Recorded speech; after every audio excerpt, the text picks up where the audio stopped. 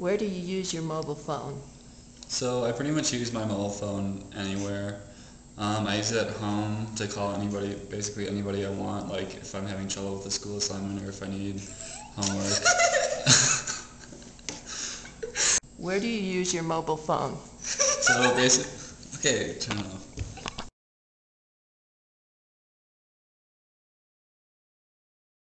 Okay. Where do you use your mobile phone? So I,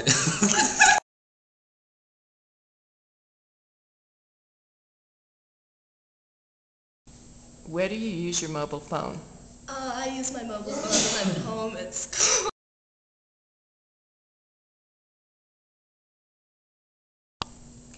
What would get you to use the phone more for listening to music? so um, one way that would get me to use the phone more was if I could